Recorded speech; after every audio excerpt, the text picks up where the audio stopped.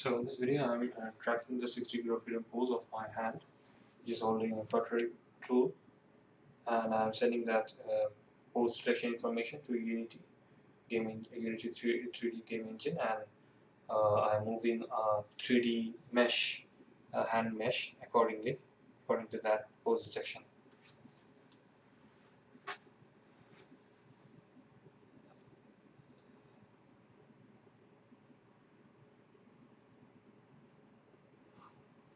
So the weights that I'm using for uh, DOPE uh, this one is a new weight uh, I've never used this one before. Uh, this weight is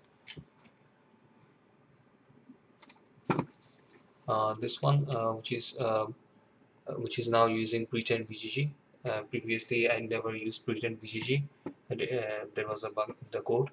Now I'm using the 60 liter weight of this new weight that which is trained on pretrained VGG okay uh, so back to the detection.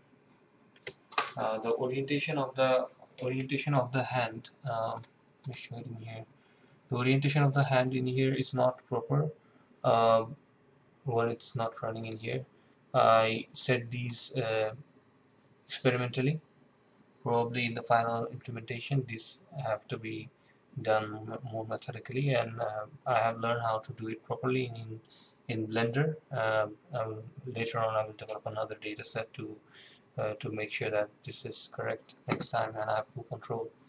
Um, so just for experiment uh, demo, this this works uh, nicely.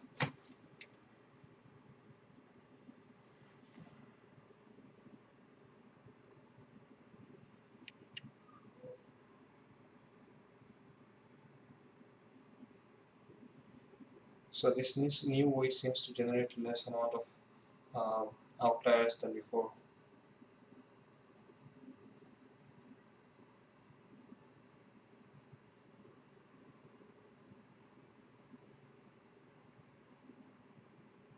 That wall is really problematic.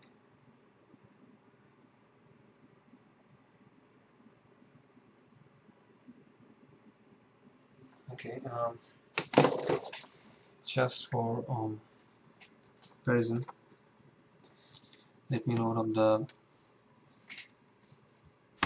previous weight that I usually used so this weight was uh, was um, th this network was trained without using pretrained VGG and let's see how it, how, how it compares to my most recent um, weights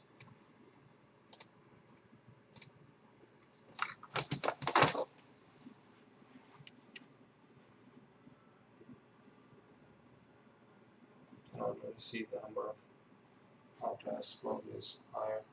Yes, the number of outliers higher now.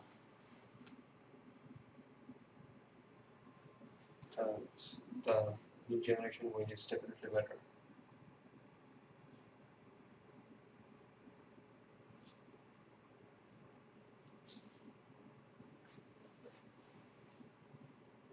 We'll do more experiments on actual surgical footages.